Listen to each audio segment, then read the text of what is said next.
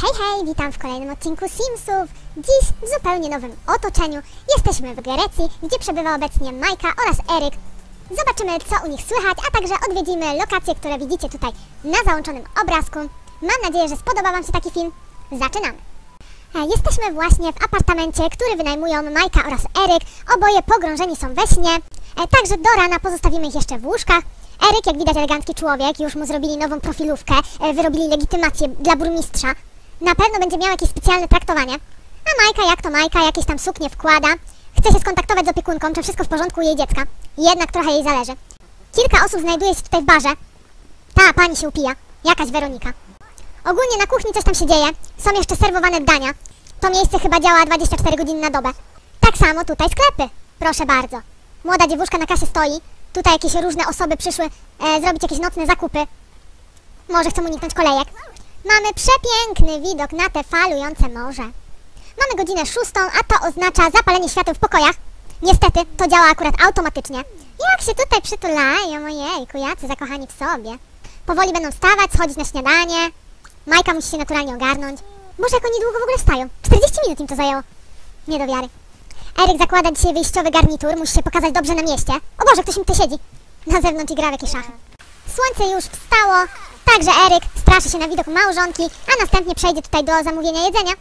Majka później do niego również dołączy. O mój Boże, Jezu, co wy tak krzyczycie?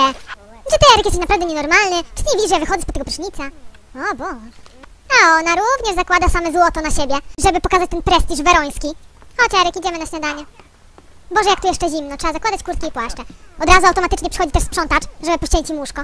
Nie no, widać, obsługa tutaj jest, zwłaszcza tej dwójki. Majka się przyzwyczai, później będzie mieć problem w domu. Gdzie jest Eryk? Boże, kochany, co on robi? Patrzcie tylko, wystarczyło, że Majka weszła, już wszyscy się na nią patrzą. O, to jest ta Majka, to jest ta żona burmistrza. Chciałabym dostać stolik razem z moim mężem. Tutaj jest akurat stolik podwójny, chociaż nie wiadomo, czy Eryk usiądzie obok. Mogę usiąść obok mojej małżonki? Nie wiem, ja jednak rozsadzę. Tutaj mogą mieć inne zupełnie zasady. No, on by wolał tutaj usiąść. Majka dyskutuje z tym kelnerem. Może on jej coś doradzi, co dobrego tutaj zjeść. Ona nie zna tych smaków w ogóle. Niech mnie pan zaskoczy. No, Majka jednak dostała zwykłego hamburgera. To na pewno będzie jej smakować. No halo, Eryk! Gościu czeka z tacą, a ty jeszcze przeglądasz tą kartę. O nie, o nie, o nie, o nie! Boże, jaka wtopa! Wszystko poleciało na nowego burmistrza. Gościu wlatuje z roboty. Przykro mi bardzo, ale mm, chyba pan straci tę pracę. Ja się o to zatroszczę. Boże, kochanie, jaka nieprzyjemna sytuacja. Majka, idź opłać swój rachunek, następnie ona przejdzie już sobie do dalszej części tych lokali. No to już będzie prawidłowe danie. Przepraszam za tamto. Dodałem taką pietruszkę specjalnie, tego nie mamy w ofercie. Miło. On z Werony to pietruszkę? No niestety, ale Eryk musi jeszcze coś zjeść. Gościu, halo! Chcę zamówić jeszcze jedną rzecz. Biegiem do mnie, nie będę dłużej czekać. Może ma Pani jakieś oczekiwania wobec nowego burmistrza? Mogę mu przekazać, jestem małżonką. No śmieszne, nie wygląda Pani jak małżonka burmistrza. Lat to dlaczego? Pani nie ma takiej skienki w złocie. Mam, pod kurtką. I tymi spodniami. Można dostać jeszcze jedno danie? I żeby Eryk cały czas nie podnosił pałeczek, on się chyba uczy, jak trzeba iść pałeczkami, ale mu to za bardzo nie wychodzi. Cały czas mu po prostu spadają na kolano. Majka dalej rozmawia z tą gościową. Temat się toczy wokół sukienek, biżuterii i innych spraw. No to jest zdecydowanie za drogie w tej Grecji. Postaram się to zmienić. Mamy danie, tym razem coś porządnego, żeby Eryk porządnie się najadł. Majka, jak widać, już zapomniała o dziecku. Teraz trzeba by urządzić przyjęcie. Zapłać jeszcze rachunek Eryka, no i już zamówi transport dla nich. Będą sobie jeździć po tej Grecji, zwiedzać, patrzeć, jak tutaj wygląda życie. No i co można poprawić? Jako burmistrz, możesz odejść. Czy pan ma jakieś zastrzeżenia wobec tej Grecji? Co można dla pana zrobić? Osobiście, prywatnie. Nie no, każda kultura wita się na swój sposób niepowtarzalny. My również. Mhm, no dobrze. Oczekujemy już na transport, no i będziemy sprawdzać sobie po kolei każdą lokalizację. E, Po pierwsze, zajrzymy na największą atrakcję, czyli Akropolis. Ciekawe, czy tam będzie fajnie, Eryk. Eryk naturalnie z przodu, on musi lepiej widzieć. Musi ocenić stan tych dróg przede wszystkim. No i mamy tutaj widok na ogromny kompleks zabytkowy, czyli właśnie Akropolis. Idą już turyści, widać, że podoba się tutaj także Majce, która wreszcie odpoczywa. Grecja to naturalnie kolumny, także w tym miejscu ich nie brakuje. No i można sobie tutaj pospacerować po wnętrzach. Na zewnątrz widać na przykład taką ogromną fontannę. A Majka już wyhaczyła, że tutaj można zejść na dół. O proszę, co tutaj się znajduje? Jakie niespodzianki. Można jeść do woli. Można skorzystać z łazienek. To miejsce mi się podoba. Jest e, efekt zaskoczenia i można z tego zrobić naprawdę fajne turystyczne miejsce. O mój Boże, jak mi się tutaj podoba, naprawdę. Majka aż po prostu nie może ukryć tego zachwytu. No proszę, jak ona się rzuca na tego swojego męża. Czy obściskiwanie się publiczne jest w tym kraju dozwolone? Bo wszyscy tak jakoś odeszli od nas? No nie wiadomo, naprawdę. Pani Brzytwa się denerwuje? Ona chyba do końca nie jest zadowolona z warunków swojej pracy. Trzeba to zanotować i postarać się to zmienić. Jaka stokrotka! Ale ma imię oryginalne. Stokrotka zakładka. Jak normalnie jakaś postać z bajki. Majka już chciałaby się napić, spróbować lokalnych drinków, ale Eryk namówił ją, żeby zobaczyli jeszcze fontannę. O, tu kolejna dziewczyna, Karolcia. Chodźmy obejrzeć, co tutaj się jeszcze znajduje, ale niestety coś zaczęło padać, o mój Boże. Oj, to nic, trzeba się będzie schować tutaj w tym momencie. Poglądać sobie zabytki wewnątrz. Nie podoba mi się to. No właśnie przede wszystkim, że pada. Co to w ogóle za pogoda? Trzeba zmienić pogodę, Eryk, w tym kraju. Eryk mówi, Boże, jak ja jej dogodzę. Wejdźmy sobie tutaj, tutaj mamy kolumny i kwiatki, no i jest także posąg. Z całą pewnością postać jakaś religijna. No Majka, ja obejrzyj to? Wiem, że ciebie tak do końca nie interesują takie rzeczy, ale musisz się orientować jako żona burmistrza. Pani burmistrzowa. To w ogóle jakieś takie labirynty, coś tego? Nie wiadomo o co chodzi. Przejdźmy szybko do następnego budynku. Tam też można coś obejrzeć. Majka, Eryk już poszedł. Później się zgubisz i nie dojedziesz do domu. Tutaj stoją jeszcze posągi na zewnątrz, ale jak pada deszcz i jest przede wszystkim burza, to mogą one porosnąć mchem. Trzeba się temu przyjrzeć. Może jakieś takie parasolki dla posągów? Co myślisz, Majka? To dobry pomysł, ty to masz pomyślonych naprawdę w głowie. Jesteś przede wszystkim inteligentny, jesteś mój. No ten też właśnie, widać już jakaś rdza pod nosem. Jak rdza, Boże Eryk, to ludzie dotykają po prostu, na szczęście, wiesz? Czasem są takie przesądy, że się dotyka tam na przykład nos, albo coś takiego. Ale przede wszystkim no nie przeszkadza ci deszcz. Zobacz, jakie tutaj jest oryginalne, Boże, to płonie. To mi się najbardziej podoba. Aż zrobię temu zdjęcie, Eryk, poczekaj, może nawet tobie na tle. Póki co Majka jest naprawdę zachwycona, ale przybiegnie ona czym prędzej do tego budynku. O mój Boże, już się przybrała w jakieś sportowe rzeczy. Nie chcę, żeby jej ta sukienka przede wszystkim przemokła. Tutaj mamy kolejne schody, no aerobik ma jak trzeba. Można tutaj również wejść na górę, ale tutaj jest tylko takie miejsce do obserwacji, jakiś punkt widokowy, te sprawy. Eryk poszedł zwiedzić łazienki w tym czasie. Majka chce się jeszcze wtopić w tłum. Może ludzie będą bardziej szczerzy podczas rozmowy z nią. A Eryk w tym czasie zamówi już transport. Może w innej części Grecji nie będzie tak padać. Witam serdecznie, Maja. Kto jeszcze chce się przywitać? Jestem tutaj nowa. Lubisz taki deszcz? Tak, nie przeszkadzam. O Jezu, tak jak się denerwuje, o mój Boże. Jakaś nowa na dzielnie się pojawiła i tak facetów brak. Taja biega. Co jej się zdarzyło? O Jezu, ona tak biegła, żeby się przywitać z koleżanką, Martynką. No jak miło, naprawdę. Czy pan ma jakieś skargi, zażalenia? Pada deszcz, pan musi tutaj stać? No cóż, raczej nie. Podczas wakacji warto sobie dogodzić, proszę o tym pamiętać. Tylko, że oni tutaj tak jakby przyjechali mieszkać. Zobaczmy zatem. Apartamenty Aglei. Tutaj mamy też ciekawy budynek. Skała z tyłu. Góra też jest. No ciekawa ta Grecja, nie ma co ukrywać. E, Majka, czy ty zamierzasz dołączyć do swojego męża? Który zresztą na ciebie czeka? E, jak widać mamy tutaj mnóstwo apartamentów. Majka jest zachwycona. Podoba jej się dosłownie wszystko. Ale jak widać, to miejsce nie jest do końca ukończone. Jeszcze zresztą nie otwarte. Tak więc zbyt wiele to oni tutaj nie skorzystają. Nawet nikt nie stoi na recepcji. Może to jest gratis, Eryk. Jak myślisz? Pań tutaj bezsensownie stoi tylko w kuchni. Również nic nie robiąc. Nie ma nawet toalet, a na to właśnie liczyni. Tylko w jednym miejscu świeci się światło. Także trochę taki pustostan. Ale można tutaj coś zrobić, Eryk, ja bym miała mnóstwo pomysłów. Może jakieś takie butiki, można tutaj zrobić jakiś salon spa. Ludzie znają to miejsce, przechodzą obok. No, ja proponuję coś tutaj po prostu zrobić. I płonie znicz. Ciekawe. Tutaj jeszcze woda. Nie ścieka w ogóle do kanałów ściekowych. Proszę pana, jak się stąd wydostać? Taki mamy problem z małżonką. Trzeba zostawić biżuterię, żeby ktoś odwiózł na chatę? No cóż. Szybki powrót do domu. Tutaj czeka na zjedzenie, wykąpanie. Majka jest w dalszym ciągu zachwycona, cieszy się z każdego simoleona na ich koncie. O mój Boże, jak oni wrzeszczą pod tym prysznicem. On jest jakiś wadliwy, czy co? Oj, Eryk, co ty robisz? Nie strasz mnie. Nie mogę znieść tego prysznica, naprawdę. A ja nie mogę znieść ciebie. A przed chwilą tak się kochali. Niech sobie zamówią baklawę do pokoju, a później Majka wykąpie się jeszcze szybko. Zjedzą i będą dalej lecieć. Zobaczyć kolejne miejsca. Witam serdecznie, można dosiąść? Ja to rozłożę pani lepiej. Proszę bardzo, tak powinno być rozłożone. Nie mam czym dojeżdżać do szkoły, mieszkam w małej miejscowości. No niech pomyślę, może taksówką. Proponuję inny środek transportu. Można się przesiąść na rower albo elektryczną hulajnogę. A ta dziewczyna myśli, co on w ogóle gada. Jest i nasza baklawa. Tak więc Eryk oraz Majka zjedzą to pyszne danie. Deserek taki o, ciasto. I jak to smakuje? No przepyszne naprawdę. Chyba wezmę jeszcze jeden kawałek. I Majka się ładuje komuś na chatę, nie? Chcę zjeść teraz z widokiem na tą stronę. Tam jest też jakiś dom. Majka już leci, bo zobaczyła, że Eryk dzwoni po taksi. Nie chce, żeby wybrał się gdzieś bez niej. Co pan jeszcze powie ciekawego? Podczas wakacji warto sobie dogodzić. No to nie trzeba mi w ogóle o tym mówić. Ja sobie dogadam zawsze. Eryk jeszcze doczytuje, jakie są prawa w tym kraju. A my lecimy wedle namowy naszego pana przewodnika stojącego na ulicy do łaźni ateńskich.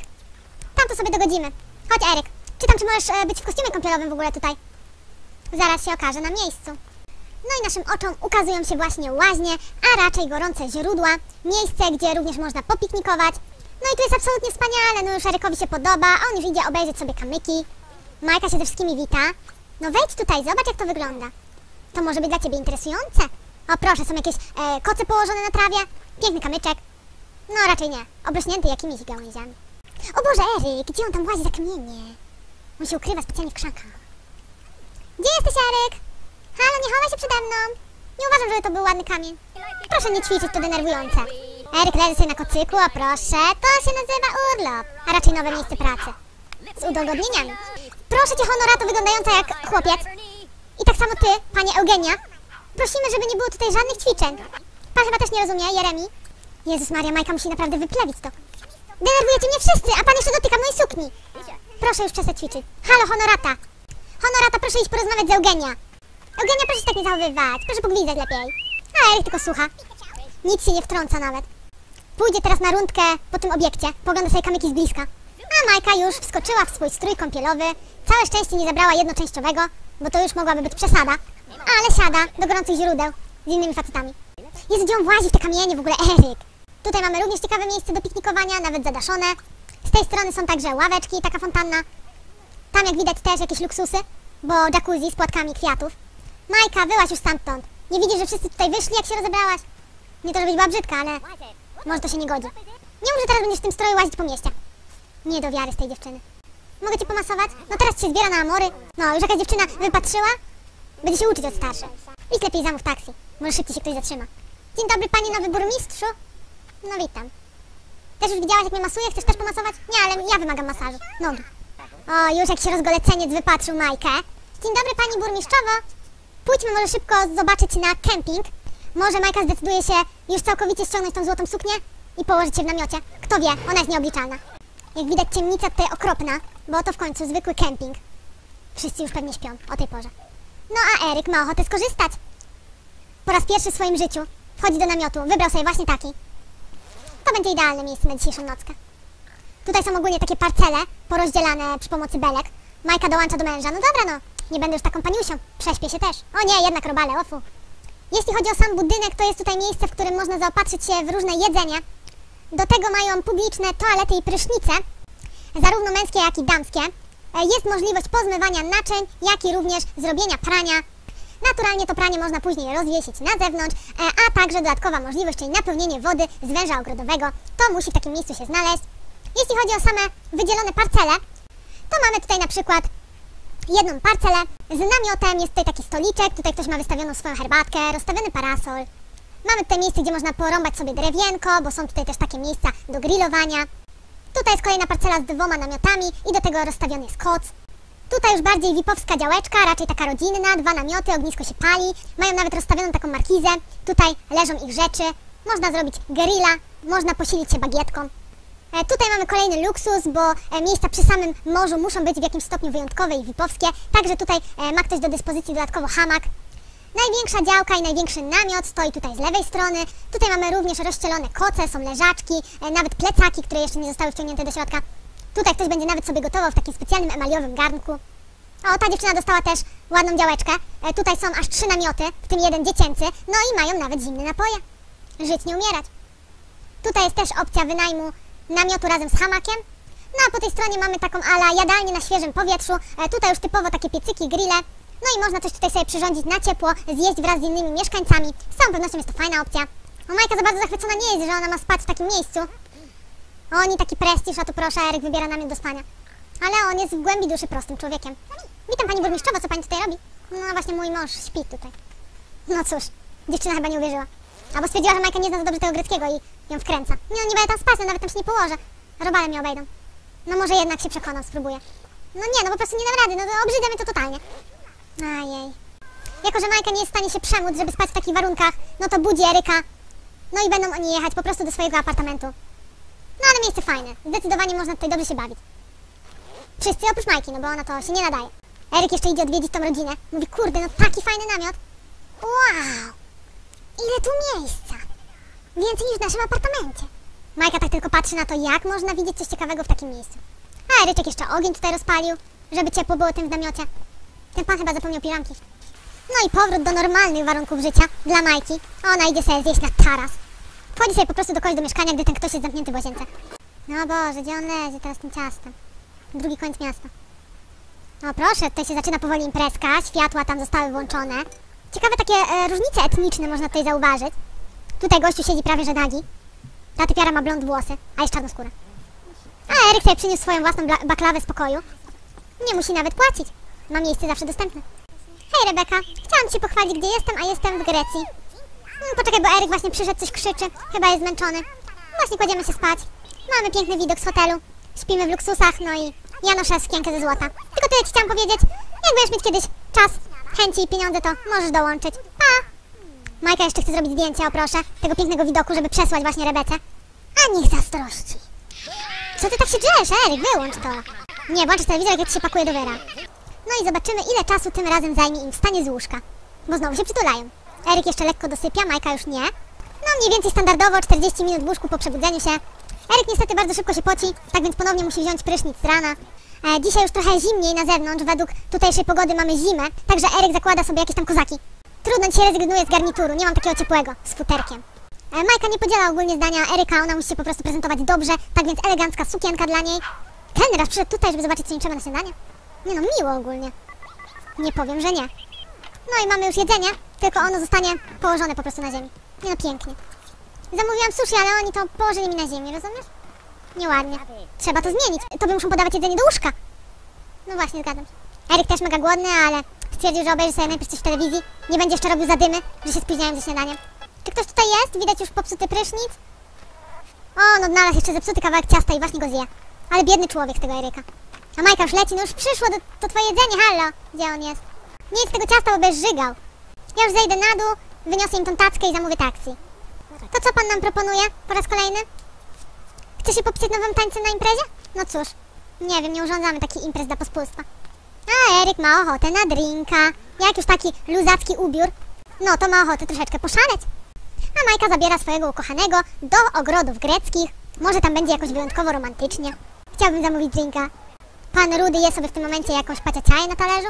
Majka już się ładuje do samochodu. A Eryk czeka na drineczka. Drineczek dla pana Eryka. W tym momencie widzimy już ogrody greckie, jak widać wyjątkowo usadzone tutaj roślinki. No i żeby przejść do tych ogrodów musimy wejść do budynku najpierw. W tym budynku mamy oczywiście Starbucksa. Tutaj można wypić sobie kawkę, przywitać się z ludźmi, kupić także gazetkę albo skorzystać z łazienek. No a reszta, jak widać, mamy tutaj takie labirynty z żywopłotu. Tutaj mamy dodatkowo stawik, jak i również taki piękny mostek. Nie chcecie tutaj podejść? Może to będzie romantyczne dla Was? O, jeszcze się e, gonią po tym parku. O Boże, jak pięknie. Jaki cudny widok.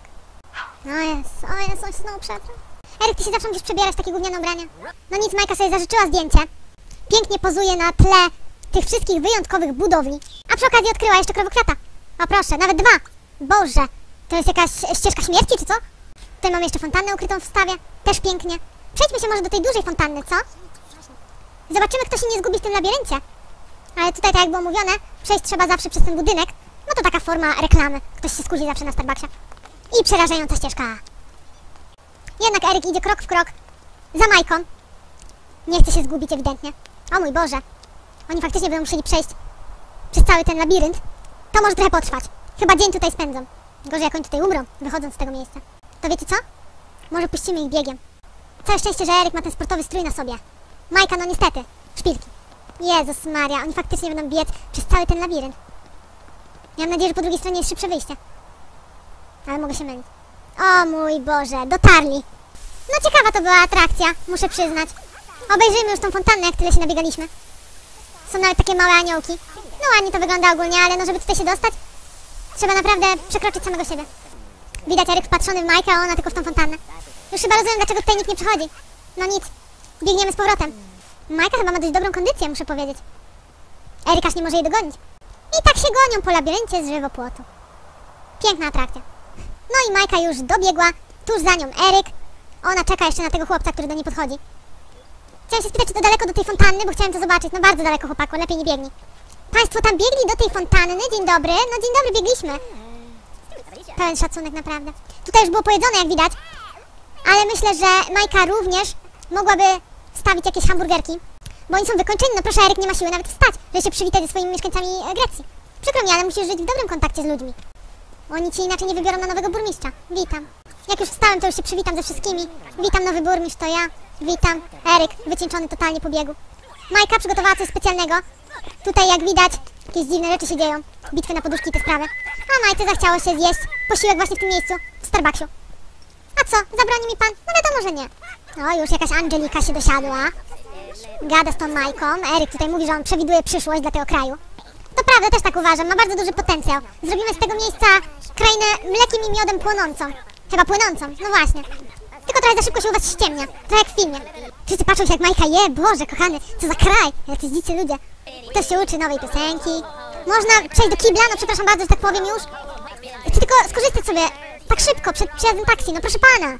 Proszę przepuścić mego męża. Dziękuję. Że też się tak wykłócać z panami. No to możemy przenieść się do następnego miejsca. Też będą musieli tam się dużo nałazić.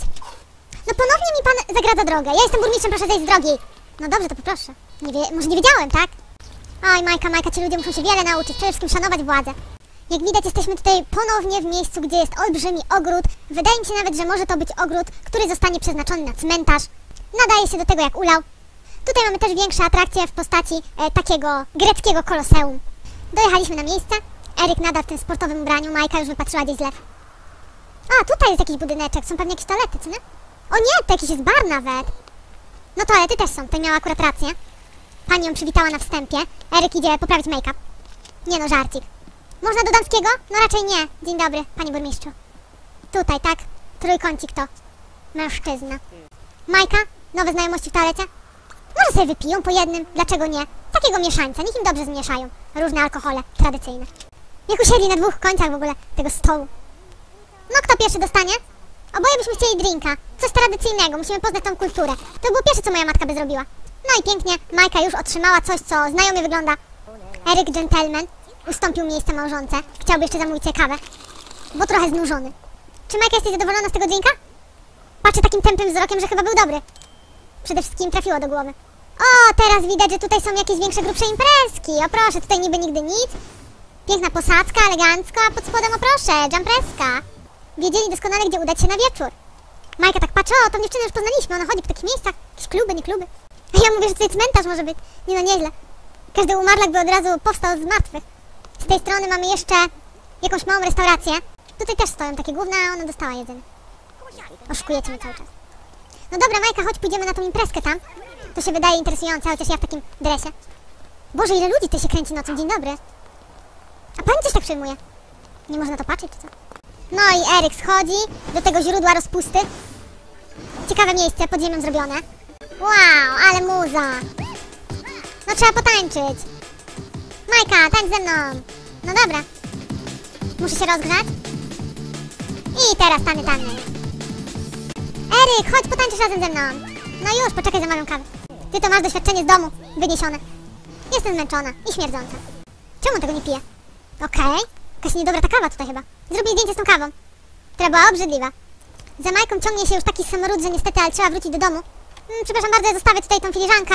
Namoczę jeszcze, żeby nie zaschł ten brud od kawy. Gdzie jest mój mąż? E, to jest w ogóle jasne, że Eryk nie jest mężem Majki, ale oni są za granicą i nikt o tym nie wie, także tego. Majka zwiększa swój prestiż mówiąc, że jest żoną, a nie zwykłą konkubiną. No nie mogę odmyć tych rąk, naprawdę. Może pachy by trzeba było umyć, a nie ręce. Myśli pan? Może być to prawdą. Ogólnie to jak się pracuje? Chyba dobrze. Widzę, że biznes się kręci. Maja, masz jednego gościa. No nic, trzeba pożyć trochę u siebie. Przede wszystkim Eryk weźmie prysznic i położy się spać. Czy tutaj była opcja zamówienia kawy? Bo to akurat by nam się przydało. Ale chyba nie. Cóż, bida. Bida z nędzą. O Boże, Majka, co ona robi? Podgląda w ogóle jakiegoś starucha, jak się kąpie. Teraz jeszcze czyści kałuże. No ona sobie na za wiele pozwala, szczerze mówiąc. O Boże, tutaj faktycznie jest staruch. Ale patrzy przez tą szparkę. Gość nawet się nie zorientował. Bo Majka zdążyła właśnie wyjść. Eryk niestety musi się położyć spać, także żegnamy go. Majka się wykąpie, tutaj kelner, proszę, zaczyna się denerwować, że staruch sobie sprowadza jakieś dziewczyny do swojego pokoju. Ale to nie jest do końca prawda. Ona sama mu weszła. Tutaj nie ma komu naprawić prysznica, tak więc nieciekawa okoliczność. Majka później przyjdzie sobie poleżeć na leżaczku, może zdrzemnie się na słoneczku. Trzeba wykorzystać też tą pogodę, mimo że jest zima w tym momencie. Ale nie zakładają już kurtek, czyli najwidoczniej ciepła zima. Może zima grecka i zima zwykła to nie ta sama zima. Nikt tego nie wie. Nikt nie korzysta z tych leżaków, co z wami ludzie. Boże, przy takim śmierdzącym talerzu mnie posadziła. Widziała to pani? Gdzie w ogóle jakaś obsługa? Ja nie wiem, co tutaj się dzieje. Gdzie ten kelner, co zawsze łazi? No nie, on się znowu przebiera. Nie, ten Eryk mnie doprowadza do szału po prostu. No dobra, no gdzie jest ten kelner, tak? Boże, jak długo trzeba na niego czekać. Aż musieliśmy otworzyć butelkę szampana. No i mamy przepyszne jedzenie podane, jemy kolację, a potem znowu możemy pójść na miasto. Są wypoczęci, mają randkę. Dlaczego nie?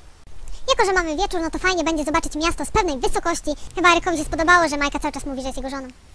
Eryk ma oczywiście gest, no i zaprasza Majkę na gigantyczne koło widokowe, gdzie będzie mogła obejrzeć całą okolicę z góry. Nawet zaopatrzył się on w lornetki, o proszę. Będą się wszystkiemu przyglądać. Dzień dobry, gdzie tutaj jest kasa? A czy ja jestem właścicielką? Może przejdźmy się tam dalej, co? Eryk. Z góry będziesz miał lepszy widok. Okej, weszli się teraz na półpiętro. Eryk podziwia wszystko z góry. Wchodzi jeszcze wyżej. I jeszcze dalej. Zrób mi zdjęcie, Eryk. To będzie dobra pamiątka. Mm, tutaj nie będzie dobre ujęcie. Lepiej poczekajmy i wiedźmy na górę. No już wchodzą sobie na ten diabelski młyn. Ale coś im nie odpowiada. Może Majka się boi wysokości. A tak właśnie prezentuje się widok z góry. Jak widać jest jeszcze mnóstwo lokacji, w których nie byliśmy. No i przede wszystkim jest tutaj morze. I tym widokiem na Grecję kończymy dzisiejszy odcinek. Dzięki za obejrzenie i do następnego. Pa pa!